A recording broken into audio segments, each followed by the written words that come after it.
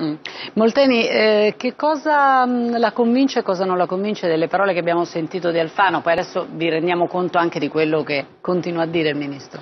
Ma innanzitutto eh, faccio presente che Alfano almeno una volta a settimana arriva in aula a riferire su qualcosa che non funziona nel nostro Paese, sul tema della sicurezza, sul tema dell'immigrazione, eh, sul tema dell'ordine pubblico. Quindi vuol dire che qualcosa che non funziona probabilmente c'è.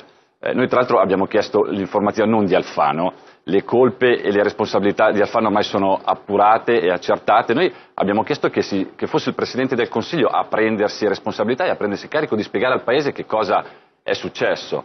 Di spiegare al Paese che cosa è successo a fronte di che cosa? A fronte del fatto che fino all'altro ieri tutti i membri del governo, dal Presidente del Consiglio, Alfano, alla Pinotti, mm. a Gentiloni, alla stessa Mogherini, hanno sempre negato, negato in maniera sistematica eh, e costante il fatto che l'immigrazione clandestina potesse essere uno strumento di veicolo dell'infiltrazione del terrorismo. Hanno sempre negato la circostanza tale per cui il barcone potesse essere uno strumento per portare il terrorista in Italia, nonostante le avvisaglie che avvenisse esattamente il contrario erano più che rilevanti. Il ministro dell'informazione di Tobruk, libico, eh, mm. lo stesso segretario generale della Nato, Stoltenberg, proprio l'altro ieri ha paventato fortemente questo rischio. Quindi un governo che nega la possibilità di un rischio, pericolo, sicurezza nel nostro Paese. Esattamente. Quindi questo è il primo dopo, punto. Questo è il primo punto. La negazione da parte del governo o la sottovalutazione da parte del governo mm. e degli esponenti di, del nostro